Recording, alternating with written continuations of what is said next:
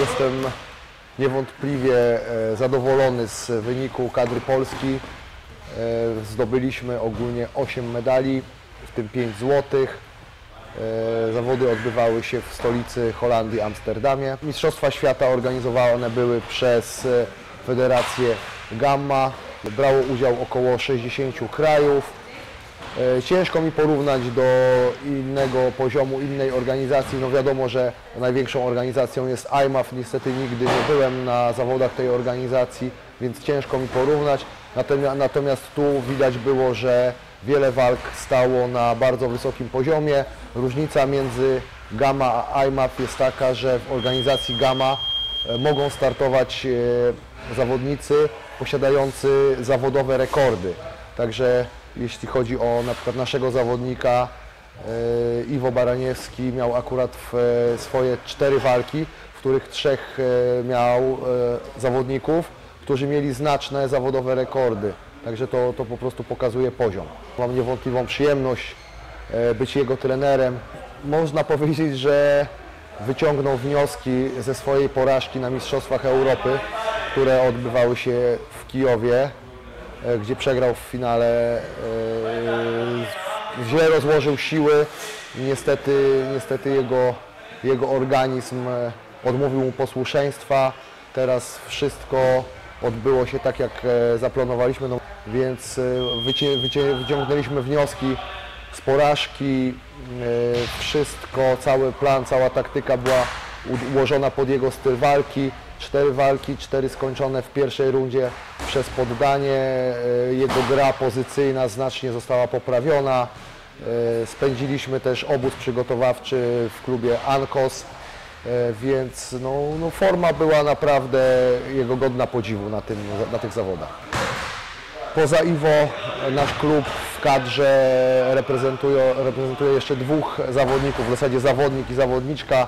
Kacper Szalast, który no niestety też przeszarżował troszkę w pierwszej walce z amerykańskim zawodnikiem. No niestety nie, nie, nie ma żelaznej kondycji, więc, więc po prostu swoją walkę przegrał. Przegrał w zasadzie ze sobą, jak, a, a nie z przeciwnikiem. No i jeszcze Joanna Walorska, która startowała w formule MMA Striking i zdobyła złoty medal. Dlatego no, można powiedzieć, że jestem zadowolony z wyniku naszych aligatorowych zawodników. E, No może oprócz Kacpra, którego, którego formę mam nadzieję, że poprawimy już na najbliższych Mistrzostwach Europy, a co za tym idzie też oczywiście na Mistrzostwach Polski, już popra- popaka- pokaże się z lepszej strony. Start w amatorskich e, zawodach jest niewątpliwie cennym doświadczeniem e, dla kogoś, kto planuje karierę zawodową. Każdy zawodnik, który zanim zacznie się bić dla liczących organizacji, musi zbierać doświadczenie. E, Dlatego często zawodnicy, wiadomo, że schodkowo biją się na, na galach mniejszej rangi i przechodzą stopniowo coraz wyżej. Start w tego typu imprezie daje możliwość zebrania na tyle cennego doświadczenia, że wszystko odbywa się z dużą oprawą, e, jest duża ilość ludzi, więc całe te obycie ze stresem, z oczekiwaniami, z w ogóle z całym show, może, możemy tak szeroko pojętym to nazwać, jest e, naprawdę bardzo, bardzo tak jakby dobrym, e, dobrym e, oprócz tego, że doświadczeniem, to też motywacją dla zawodnika do tego, żeby cały czas zwiększać swój poziom. Tutaj Polski Związek MMA ma niewątpliwie też duże szczęście, że e, nawiązała się współpraca z wiodącą polską organizacją e, freak fightową, jaką jest Fame MMA. Tutaj ukłony dla pana Krzysztofa Rozpary, który e, wraz z organizacją finansuje e, wyjazd kadry Polski na, na te, te, za- zawody tej rangi.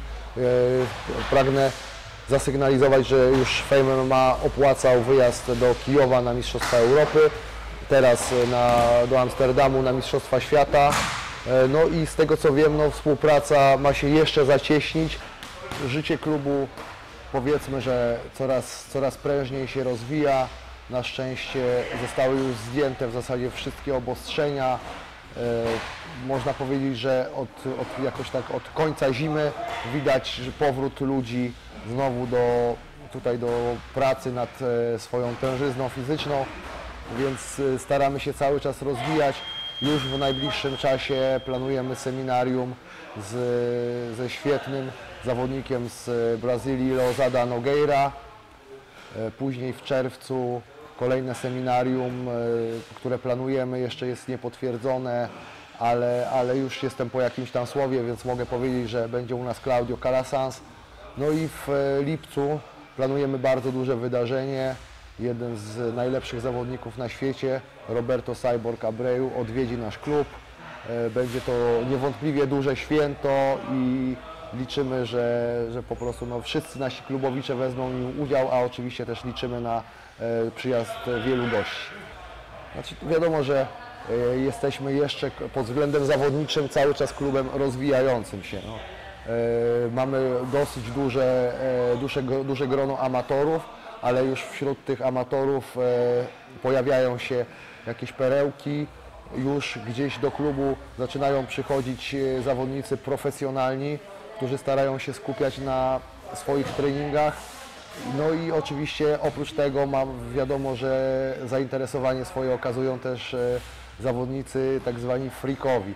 No jest, jest ich tutaj e, dosyć, może mogę powiedzieć, że dosyć znaczne grono. E, Ja akurat sam powiedzmy, no może, może nie pracuję z zawodnikami freakowymi, no ja staram się jednak gdzieś tam wybierać i pracować ze sportowcami, ale mamy trenerów, którzy przygotowują zawodników, nazwijmy to od zera do bohatera z całkiem przyzwoitymi efektami.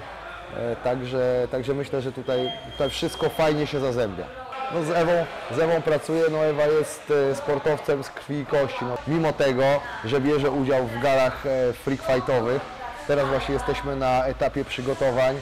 E, Weszliśmy w e, okres sparingowy, więc zaczęliśmy, zaczęliśmy już sparować. Tam dużo, dużo czasu od ostatniej walki Ewie e, Ewa spędziła na e, wychodzeniu z kontuzji, którą miała. Kontuzja, która była, którą miała, była dosyć poważna. Ona się otarła wręcz o poważny zabieg. Dlatego, dlatego też mieliśmy jakieś tam ograniczone możliwości, ale teraz jest w pełni zdrowia i, i tak naprawdę mo- możemy, możemy w zasadzie już pełne przygotowania robić.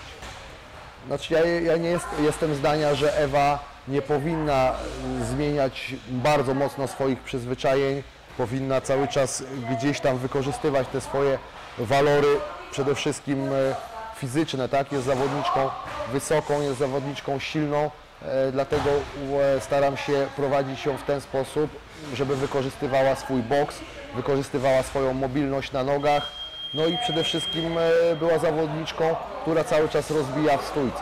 Można powiedzieć, że zdarzyło nam się wspólne potknięcie na gali freak fightowej, co było gdzieś tam, gdzieś tam no niestety efektem e, kontuzji, którą, którą Ewa, której Ewa doznała w trakcie przygotowań. No, nie ma się co tłumaczyć, zawodniczka była lepsza, ale mam nadzieję, że e, w trakcie najbliższej walki uda się zmyć tą plamę i śledźcie, bo Ewa pojawi się na High League już niedługo.